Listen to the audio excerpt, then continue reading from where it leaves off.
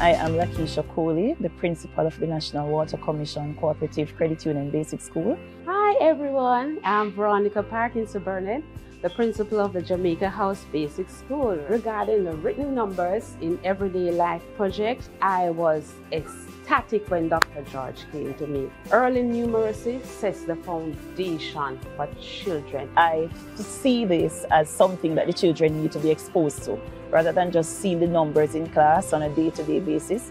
They pass the numbers on the road, at home, just about anywhere. First week, children were just coming to me and tell me, Miss, I saw the number. My mother showed me the number. I saw it at home when I was going home on a car. I saw it on a sign. I came up with the idea that we should go on a trip to the Sovereign Center with my teachers for the children to actually see how it is that numbers appear just about every and anywhere. That day was an experience for us.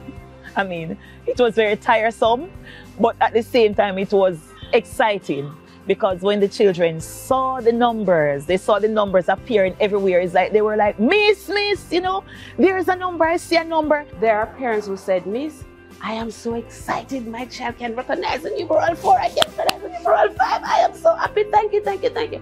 And there are persons who just run with it because they now get time to interact with their child. It is even for five minutes, but it's quality time that they have spent with their child. The next cycle, yes, I would, but with a little tweaking because maybe I wouldn't go to the old school at this time because there are some who have benefited from the project and I wouldn't want to replicate it again with the same student. But there are some who are a little behind, so I want to focus on them and then that way you can see the real benefit. Thank you very much for having us and for really allowing us to be a part of this project. We really enjoyed it and we are looking forward to being a part the next time around.